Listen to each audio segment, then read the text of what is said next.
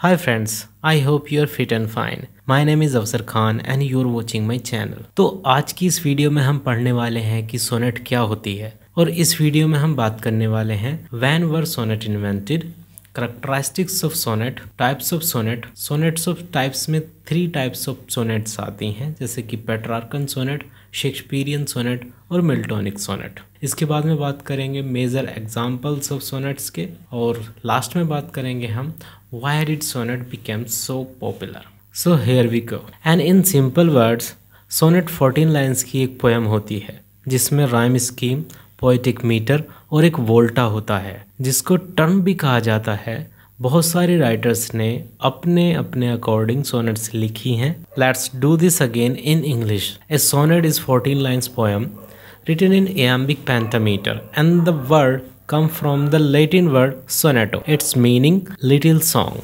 And let's talk about when were sonnet invented means ये कहाँ invent हुई कहा जाता है कि थर्टीन सेंचुरी के ग्याकोमो द लेंटेरी नाम के नोटरी से ये आई है मीन्स कोई रिटर्न डॉक्यूमेंट से लेकिन फोर्टीन सेंचुरी में इसको फ्रांसिस्को पेट्रार का जिसे पेट्रार्क भी कहा जाता है उसने इस फॉर्म में इसको फ़ेमस किया पेट्रार का सोनेट का फ़ेमस कलेक्शन का नाम है कंज्यूनर जिसमें 366 पोएम्स हैं, इसमें 317 सोनेट्स हैं। सारी की सारी पोएम्स लोरा नाम की एक लेडी की तारीफ़ में लिखी गई हैं। इन सभी सोनेट्स की थीम लव है। इसमें नरेटर या स्पीकर का वन साइड लव दिखाया गया है। ऐसा लगता है जैसे कि स्पीकर को अपनी ज़िंदगी में कभी प्यार नहीं मिला। कुछ दूसरी पोएटिक डिवाइसेस भी इस पोएम में यूज़ की गई हैं, जैसे कि simile means my love is like a red red rose metaphor for example my love is a flower conceit for example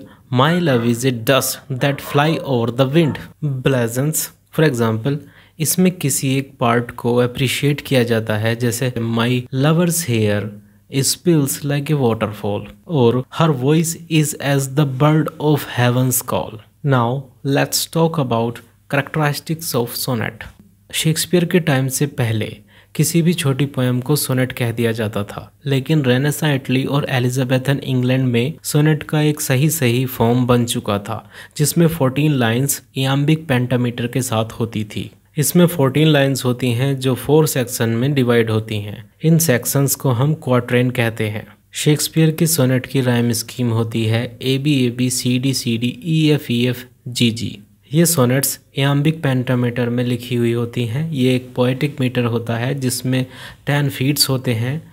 इसमें अनस्ट्रेस्ड और स्ट्रेस्ड सलेबल आते हैं। ये बात की हमने सोनेट्स की करेक्टरिस्टिक्स के बारे में और अब बात करने वाले हैं टाइप्स ऑफ़ सोनेट्स की। सो इंग्लिश लिटरेचर में दो तरह की सोनेट्स हैं जो रियल फॉर्म ऑफ़ सोनेट्स मानी जाती हैं। First Petrarchan sonnet and second Shakespearean sonnet बात करते हैं पेट्रार्कन सोनेट की। ये फ़र्स्ट सोनेट होती है, इसको पेट्रार्कन सोनेट कहते हैं और इसको इटालियन सोनेट भी कहा जाता है। इस सोनेट का नाम पेट्रार्क के नाम पर पड़ा है। इस तरह की सोनेट में दो स्टेंजास होते हैं।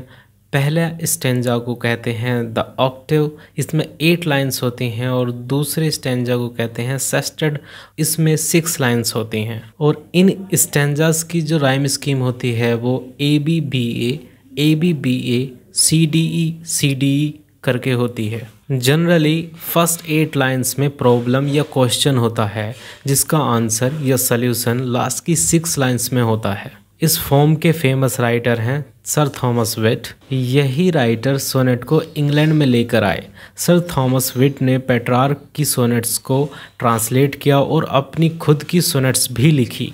इसी राइटर के टाइम में मतलब दूसरे कंटेम्प्रेरी राइटर थे, जिनका नाम था हैनरी हॉवर्ड अर्ल ऑफ़ सरी इन्होंने सोनेट के स्ट्रक्चर को पेट्रार्क के स्ट्रक्चर से अलग कर दिया। जिस स्ट्रक्चर को आगे शेक्सपियर ने अडोप्ट कर लिया था, और बाद में शेक्सपियर सोनेट के नाम से ये जानी गई। अब बात करते हैं शेक्सपियन सोनेट की। ये second major types of sonnet होती है। शेक्सपियन सोनेट जिसे इंग्लिश सोनेट भी कहते हैं, इसके कुछ डिफरेंट टाइप्स ऑफ़ रूल्स होते हैं। इसमें थ्री क्वार्ट्रेन होते हैं मींस फोर लाइंस के तीन स्टेंजास होते हैं। और लास्ट में एक कपलेट होता है। इसकी राइम स्कीम होती है A B A B C D C D E F E F G G और लास्ट में जो कपलेट होता है, उसमें कंक्लूज़न होता है। इसके बाद आती है मिल्टोनिक सोनेट जो जॉन मिल्टन ने लिखी थी। मिल्टन ने अपनी सोनेट्स वेरियस टॉपिक्स पर लिखी। मिल्टन ने पॉलिटिक्स, रिलीजन और पर्सनल टॉपिक्स पर अपनी सोनेट्स लिखी। फॉर एग्ज़ाम्पल उसने अपने अंधेपन पर भी एक सोनेट लिखी, जिसका नाम है when I consider how my light is spent इसके बाद जॉन डन का टाइम आता है। डन एक रिलीजियस पोएट था, लेकिन इसके टाइम तक सोनेट पोइट्री के हर टॉपिक पर लिखी जाने लगी थी। इसके बाद में एडमंड स्पेंसर का टाइम आता है। इसने शेक्सपियर के सोनेट के स्ट्रक्चर को फॉलो किया। इसमें थ्री कॉट्रेन होते हैं और एक कपलेट होता है। और जो सोनेट के अंदर थोट में जो शिफ्ट आता है, उसको वोल्टा कहा जाता है। सोनेट के कुछ और फ़ेमस राइटर्स को मेंशन करते हैं यहाँ पर। सर फिलिप सिडनी, जिन्होंने लिखी थी एस्टाफेल एंड एस्टेला, जो लिखी गई थी 1591 में। सैमुअल डैनियल की डेलिया 1592 में लिखी गई। माइकल ड्राइटन की आइडियाज़ मिरर 1994 में लिखी गई। एडमन स्पेंसर की एमरोती 1591 में लिखी गई। और विलियम वर्ड्सवर्थ ने, जॉन कीट्स ने, एलिजाबेथ एंड बैरेट ब्राउनिंग ने, पैट्रार्कन सोनेट को फॉलो किया।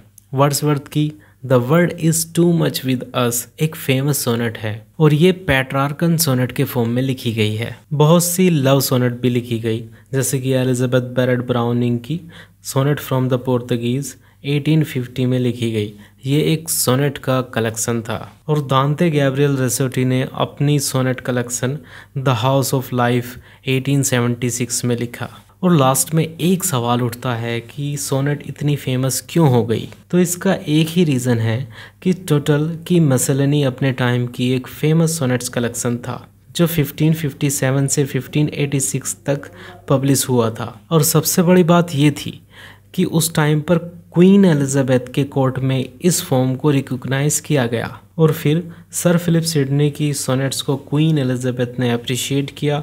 इस वजह से सोनेट को कोर्ट का सम्मान मिला और इसीलिए सोनेट इतनी फ़ेमस हो गई। सो फ्रेंड्स आई होप ये वीडियो आपको हेल्प करेगी। So thanks for watching me have a nice day